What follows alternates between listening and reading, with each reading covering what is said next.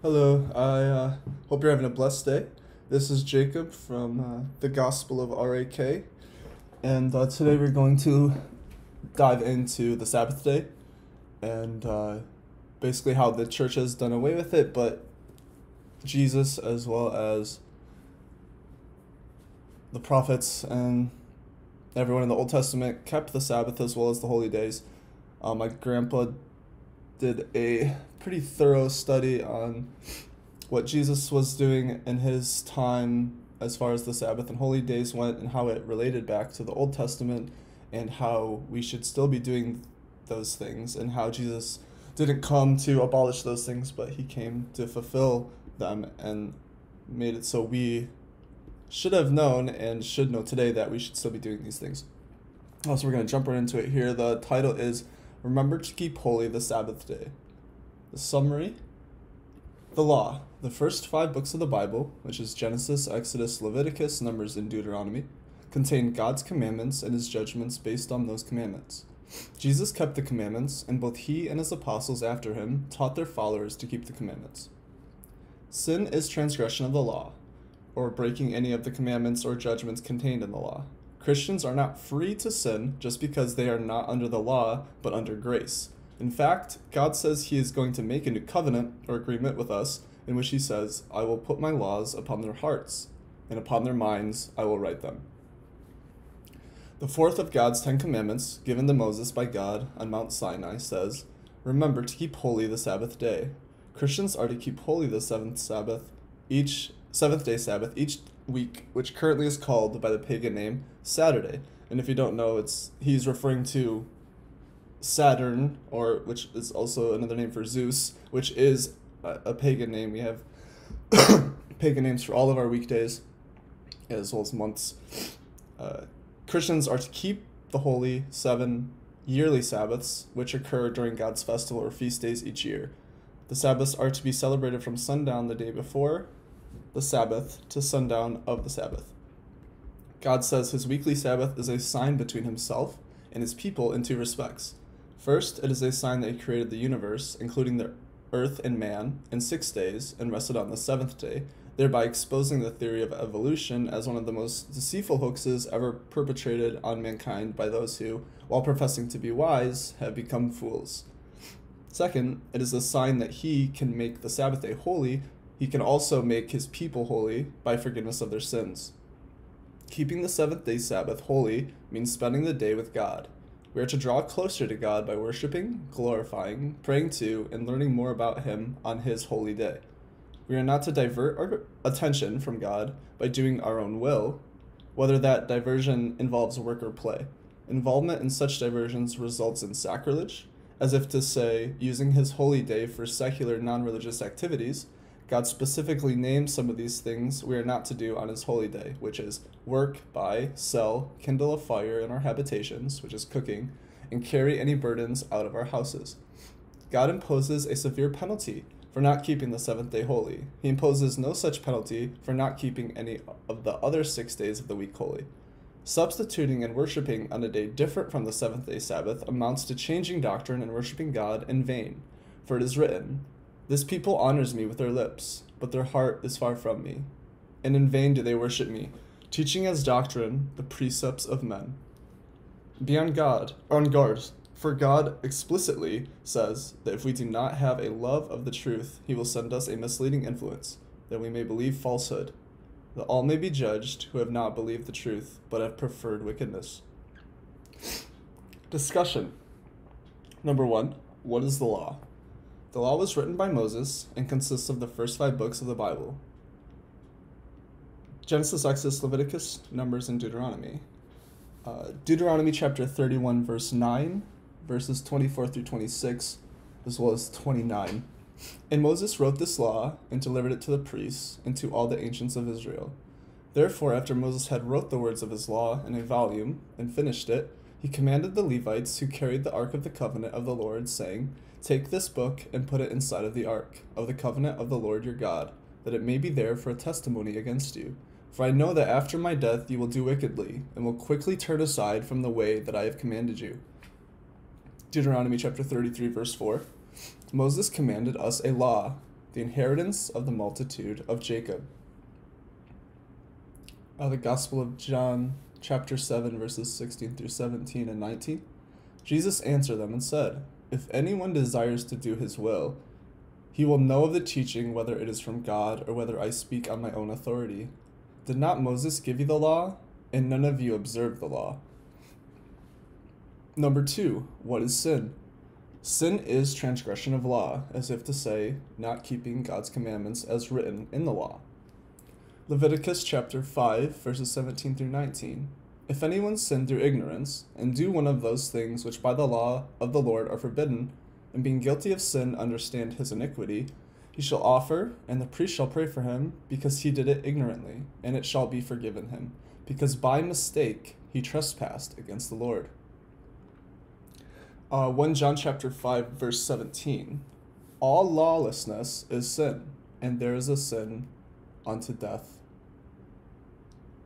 The book of Romans, chapter 3, verse 20. Through law comes the recognition of sin.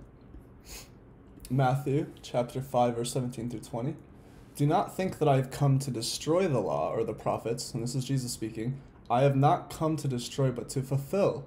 For amen I say to you, till heaven and earth pass away, not one jot or one tittle shall be lost from the law, till all things have been accomplished. Therefore, whoever does away with one of these least commandments, and so teaches men, shall be called least in the kingdom of heaven. But whoever carries them out and teaches them, he shall be called great in the kingdom of heaven. For I say to you that unless your justice exceeds that of the scribes and Pharisees, you shall not enter the kingdom of heaven. I think it's a, that's a very important thing that Jesus is saying there. Do not abolish these commandments, follow them. They're important.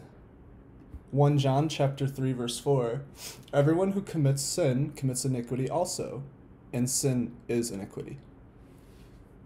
Number 3 But haven't God's laws or commandments been thrown away? Weren't they nailed to the cross?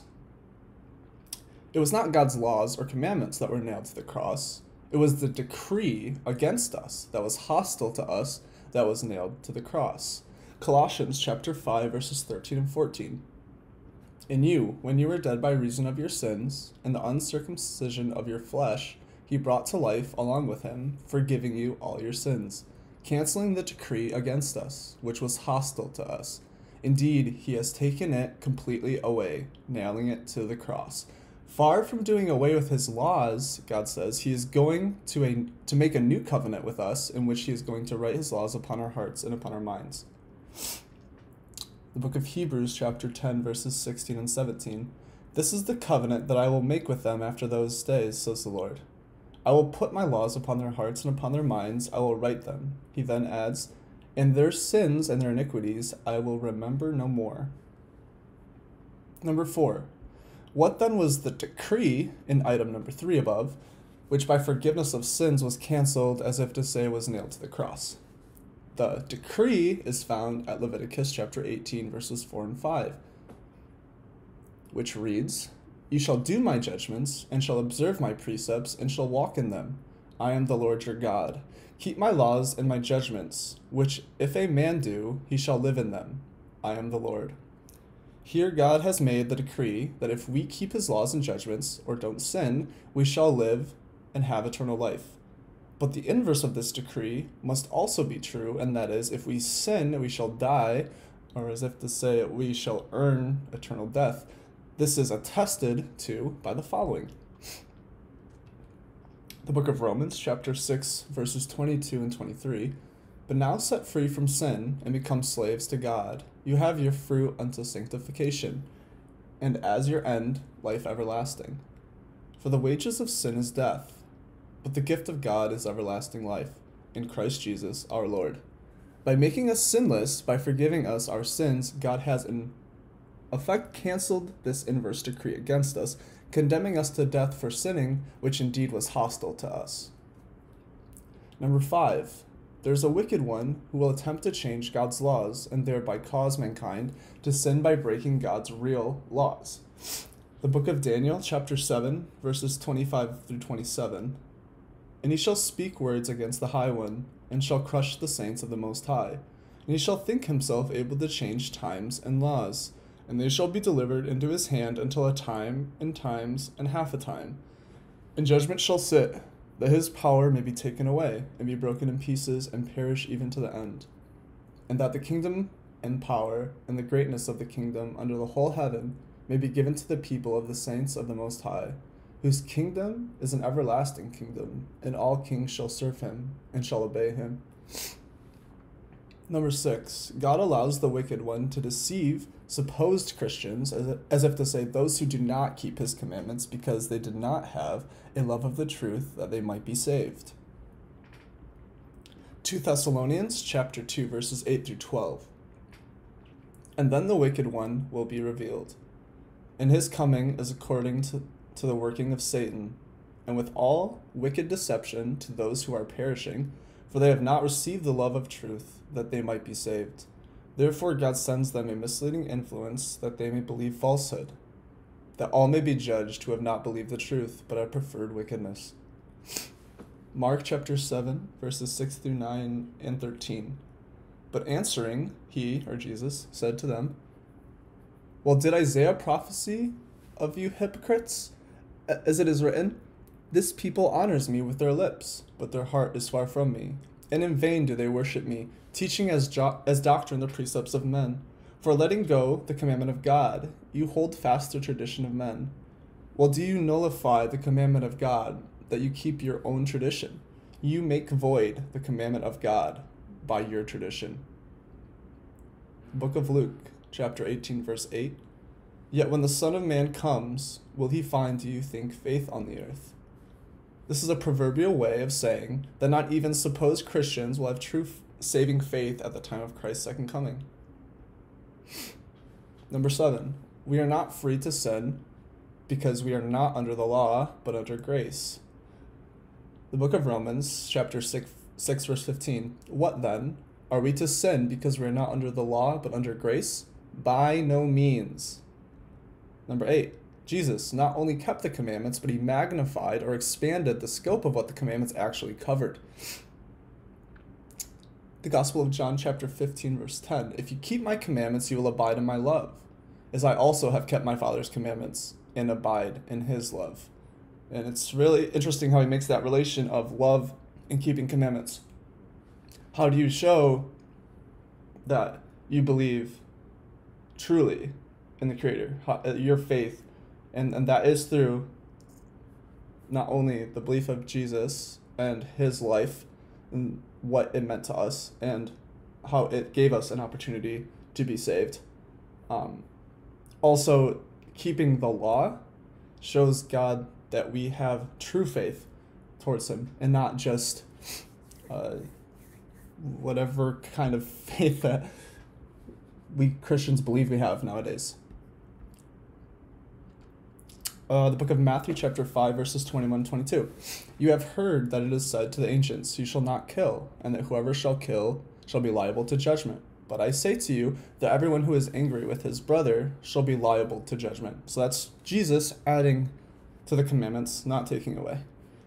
Uh, the book of Matthew, verse, I'm sorry, chapter 5, verse 27 and 28. You have heard that it is said to the ancients, You shall not commit adultery. But I say to you that anyone who so much as looks with lust at a woman has already committed adultery with her in his heart. That is him also adding to the commandments and not taking away. 1 Peter chapter 2 verses 21 and 22. Unto this indeed you have been called, because Christ also has suffered for you, leaving you an example that you may follow in his steps, who did not sin, or who did no sin, neither was deceit found in his mouth. Isaiah 53 9, because he has done no iniquity, neither was there deceit in his mouth. The, relation from the Old, Old Testament to the New Testament um, is really nice there, as well as the remembrance of Jesus didn't sin. So, what was sin back then, right?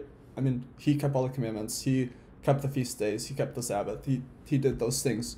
And uh, for some reason, we have come to believe that those were all abolished, but if that's the case, why would he do what he did? And not only that, but he was preparing for Passover right before he was nailed to the cross. So uh, I, I don't believe that he had any intention of this. I believe it's uh, all us being misled and I think it's very deceitful of the church. And I think that is part of the reason my grandpa went off and did his own thing, is because he realized that we were letting go of all these things that God very much wants us to do still.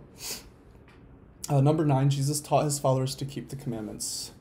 Uh, Matthew chapter 19, verses 16 through 19. And behold, a certain man came to him and said, Good master, what good work shall I do to have eternal life? He said to him, If you will enter into life, keep the commandments.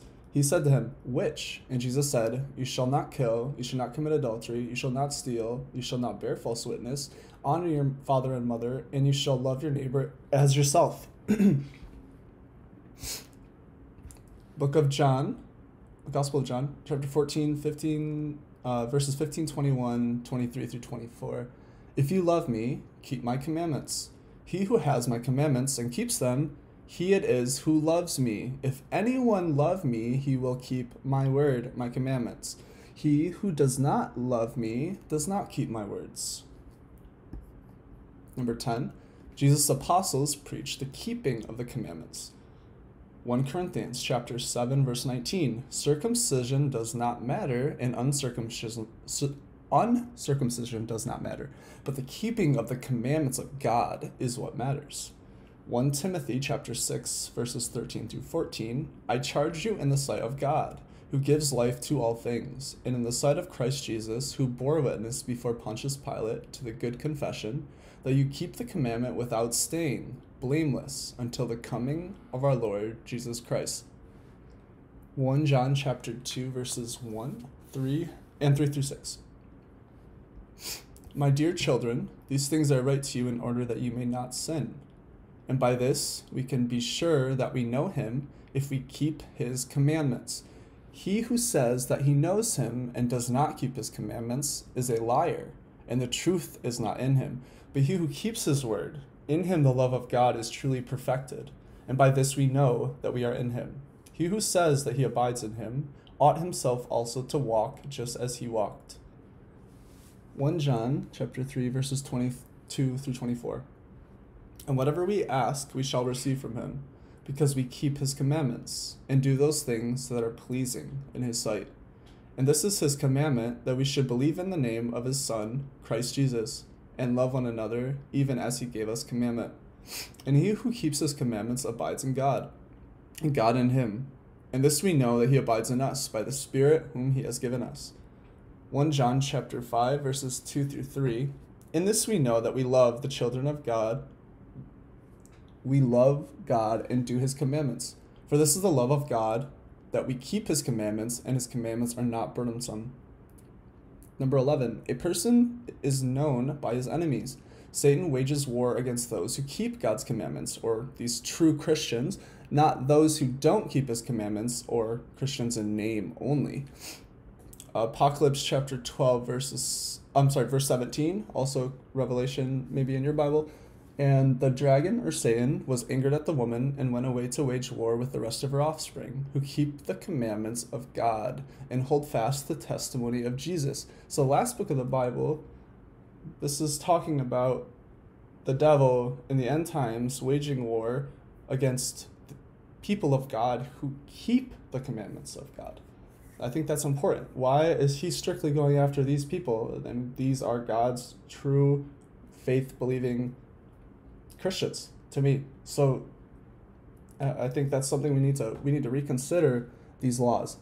Uh, 12. God's saints, truly faithful, living Christians, keep his commandments and are the ones who are to receive his kingdom. Apocalypse chapter 14, verse 12. Here's the patience of the saints who keep the commandments of God and the faith of Jesus.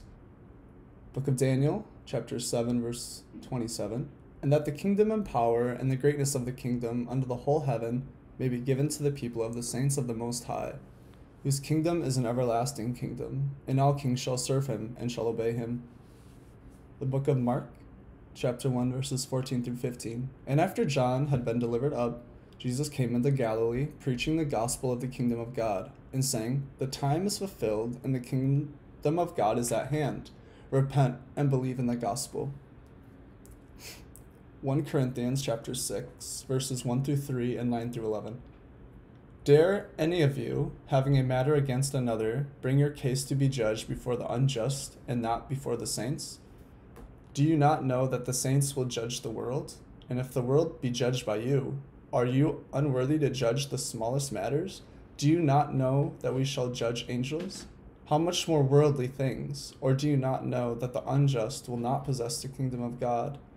Do not err, neither fornicators, nor idolaters, nor adulterers, nor the effeminate, nor sodomites, nor thieves, nor the covetous, nor drunkards, nor the evil tongued, nor the greedy will possess the kingdom of God. And such were some of you, but you have been washed, and you have been sanctified, and you have been justified in the name of our Lord Jesus Christ, and in the Holy Spirit of our God. Number 13, Jesus summarized the commandments in two great commandments. Book of Matthew, chapter 22, verses 34 through 40. But the Pharisees, hearing that he had silenced the Sadducees, gathered together. And one of them, a doctor of the law, putting him to the test, asked him, Master, which is the great commandment in the law? Jesus said to him, You shall love the Lord your God with your whole heart, and with your whole soul, and with your whole mind. This is the greatest and the first commandment and the second is like it you shall love your neighbor as yourself. On these two commandments depend the whole law and the prophets. Very well said. Very well said. Uh, number 14, God expanded the two above great commandments into Ten Commandments. The Ten Commandments, which God wrote in two tablets of stone and gave to Moses on Mount Sinai, are found written at Exodus chapter 20, verses 1 through 17, and are simply expansions of the two great commandments. The first four verses, 1 through 11, pertain to loving God. The last six verses, 12 through 17, pertain to loving your neighbor. The remaining commandments, judgments, and precepts found in the law are further expansion of these Ten Commandments. He wasn't doing away with them. He was saying, in summary, these are the two things that you should get from these Ten Commandments, but don't stop doing them. Number 15. What is the fourth of the Ten Commandments God gave to Moses on Mount Sinai. Exodus chapter 20, verses 8 through 11. Remember that you keep holy the Sabbath day. Six days shall you labor, and shall do all your works. But on the seventh day is the Sabbath of the Lord your God. You shall do no work on it, you, nor your son, nor your daughter, nor your manservant, nor your maidservant, nor your beast, nor the stranger that lives within your gates. For in six days the Lord made heaven and earth and the sea, and all things that are in them, and rested on the seventh day. Therefore the Lord blessed the seventh day and sanctified it. Number 16. Jesus kept the Sabbath as it was one of God's commandments. Luke chapter 4, verse 16. And he, Jesus, came to Nazareth, where he had been brought up. And according to his custom, he entered the synagogue on the Sabbath and stood up to read. Uh, custom definition a generally accepted practice or habit or convention. Um, number 17, Jesus, when prophesying about his future or second coming, made reference to the Sabbath, implying that he will that he still expected it to be celebrated in accordance with the commandment at the time of his return. Matthew chapter 24, verses 3 through 4 and 20 and 21. And as he was sitting on the Mount of Olives, the disciples came to him privately, saying, Tell us when are these things to happen, and what will be the sign of your coming and the end of the world? And in answer, Jesus said to them, But pray that your flight may not be in the winter or on the Sabbath, for then there will be great tribulation, such as not been from the beginning of the world until now, nor will be. Number 18, Jesus' followers kept the Sabbath immediately after he died. Book of Luke, chapter 23, verses 54 through 56, and chapter 24, verse 1. And it was the preparation day, and the Sabbath was drawing on and the woman who had come with him, or Jesus, from Galilee, followed after, and beheld the tomb and how his body was laid. And they went back and prepared spices and ointments, and on the Sabbath they rested, in accordance with the commandment. But on the first day of the week, at early dawn, they came to the tomb, taking the spices that they had prepared. Number 19. The Apostle Paul kept the Sabbath after Jesus died. Book of Acts, chapter 17, verses 1 through 3. Now, after passing through Amphipolis and Apollonia, they came to Thessalonica, where they where there was a synagogue of the Jews. And Paul, as was his custom, went into them and for three Sabbaths reasoned with them from the scriptures, explaining and showing that the Christ had to suffer and rise from the dead, and that this is the Christ, even Jesus, whom I preach to you. The book of Acts, chapter 18, verse 4. And he, Paul, would preach in the synagogue every Sabbath, bringing in the name of the Lord Jesus Christ, and try to convince the Jews and the Greeks. Number 20. The Sabbath is a sign between God and his people in two respects. Number one, first, it is a sign that God created the universe in six days and rested on the seventh day. The seventh day week we use, or the seven day week we use today was originated by God and points to the creation. Creation debunks the theory of evolution. Um, second, it is a sign that God can sanctify the seventh day, that he can also sanctify his people. The book of Genesis, chapter 2, verse 1 through 3. Verses 1 through 3. So the heavens and the earth were finished, and all the furniture of them. And on the seventh day, God ended his work which he has made. And he rested on the seventh day from all his work which he had done. And he blessed the seventh day and sanctified it, because in it he had rested from all his work which God created and made. Exodus chapter 31, verses 16 and 17. Let the children of Israel keep the Sabbath and celebrate it in their generations. It is an everlasting covenant between me and the children of Israel, and a perpetual sign. For in six days the Lord made heaven and earth, and in the seventh he ceased from work. Romans chapter 1 verse 22. For while professing to be wise, they had become fools. Exodus chapter 31 verse 13. Speak to the children of Israel, and you shall say to them, See that you keep my Sabbath, because it is a sign between me and you in your generations, that you may know that I am the Lord, who sanctify you. 21. What does the word Sabbath mean? Shabbat, definition from Hebrew, means to rest, or a time of rest. Number 22. What does the word holy mean? Holy definition things dedicated, set apart for sacred usage of God, His works, dwelling place, attributes. Sacred definition set apart for the service or worship of God, having a religious, not a profane character. Number 23. Which day today is the seventh day Sabbath God gave to Moses?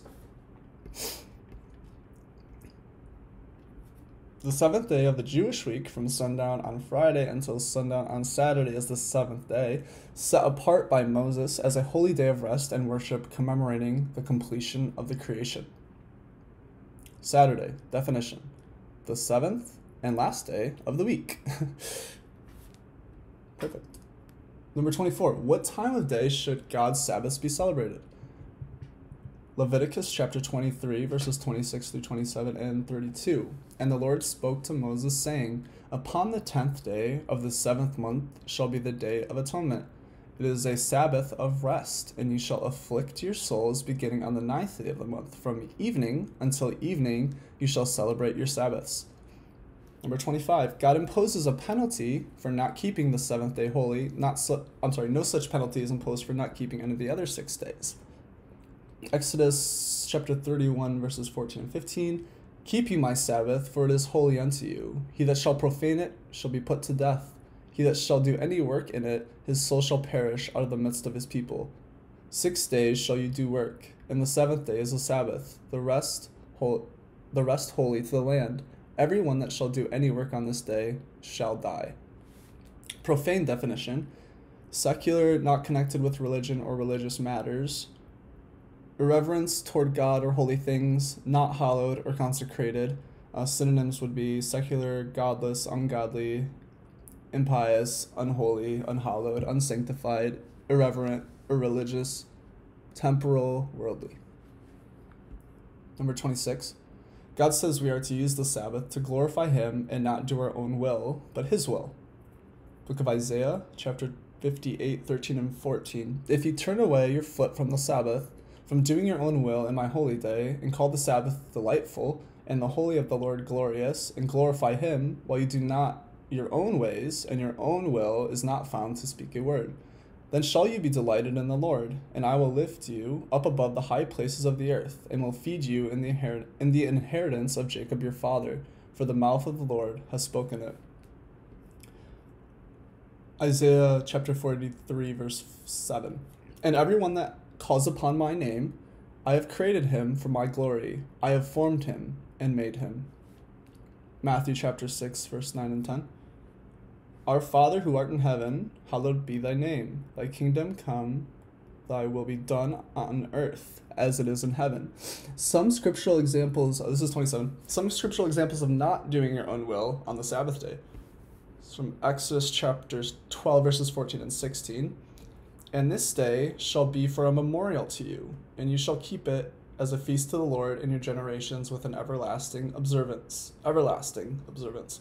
Seven days shall you eat unleavened bread. And the first day there shall be no leaven in your house. Whosoever shall eat anything leavened from the first day until the seventh day, that soul shall perish out of Israel. The first day shall be holy and solemn, and the seventh day shall be kept with the like solemnity. You shall do no work in them except those things that belong to eating. Exodus chapter 35, verse 3 You shall kindle no fire in any of your habitations on the Sabbath day. 2 Ezra chapter 13, verses 15 through 18. In those days, I, Nehemiah, saw in Judah some treading the presses on the Sabbath, and carrying sheaves, and lading asses with wine, and grapes, and figs, and all manner of burdens, and bringing them into Jerusalem on the Sabbath day. And I charged them that they should sell on a day on which it was lawful to sell. Some Tyrians also dwelt there, who brought fish and all manner of wares and they sold them on the Sabbaths to the children of Judah in Jerusalem. And I rebuked the chief men of Judah, and said to them, What is this evil thing that you are doing, profaning the Sabbath day? Did not our fathers do these things, and our God brought all this evil upon us and upon this city? And you bring more wrath upon Israel by violating the Sabbath. To Ezra chapter 10, verse 31. And if the people of the land bring in things to sell, or any things for use, to sell them on the Sabbath day, that we would not buy them on the Sabbath day or on the holy day. Book of Jeremiah, chapter 17, verses 21 and 22. Thus says the Lord Take heed to your souls, and carry no burdens on the Sabbath day, and bring them not in by the gates of Jerusalem, and do not bring burdens out of your houses on the Sabbath day, neither do you any work Sanctify the Sabbath day as I commanded your fathers. Number 28. We commit sacrilege when we don't keep the Sabbath day holy. The holy Sabbath is to be spent with God, doing godly things. We commit sacrilege when we use it to do our own will. The book of Romans, chapter 2, verse 22. You who do abominate idols, do you commit sacrilege? Sacrilege definition the crime of appropriating to oneself or to secular use what is consecrated to God or religion. Secular definition pertaining to the world or to things not spiritual or sacred, disassociated from a, uh, religious teaching or principles, not devoted to sacred or religious use. Worldly. 2 Timothy chapter 3 verses 1 through 2 and 4 through 5. But know this, that in the last days dangerous times will come. Men will be lovers of self, loving pleasure more than God, having a resemblance indeed of piety, but disowning its power, avoid these. Number 29, God ordained seven feast day Sabbaths to keep or to be kept holy, in addition to 52 weekly Sabbaths each year. Uh, Ecclesiasticus chapter 33, verses 7 through 10. Why does one day excel another, and one light another, and one year another year? when all come of the sun. By the knowledge of the Lord they were distinguished, the sun being made, and keeping his commandment. And he ordered the seasons and hol- holidays, or the holy days of them, and in them they celebrated festivals or feasts at an hour. Some of them God made high in great days, and some of them he put in the number of ordinary days. The feast days are recorded in the 23rd chapter of Leviticus. Leviticus 23, verses 1 through 2. And the Lord spoke to Moses, saying, Speak to the children of Israel, and shall say to them, These are the feasts of the Lord, which you shall call holy. Leviticus 23, 3 through 4, the weekly Sabbath. Uh, 5 through 8 is the feast of Passover and the days of unleavened bread. Leviticus 23, 10, 15, 16, and 21 is the feast of Pentecost. When you shall have entered into the land which I will give you, and, and shall reap your corn, you shall bring sheaves of ears, the first fruits of your harvest, to the priest. You shall count therefore the morrow after the Sabbath, wherein you offered the sheaf of the first fruits, seven full weeks. Even unto the morrow after the seventh week be expired, that is to say, fifty days, and you shall call this day most solemn and most holy.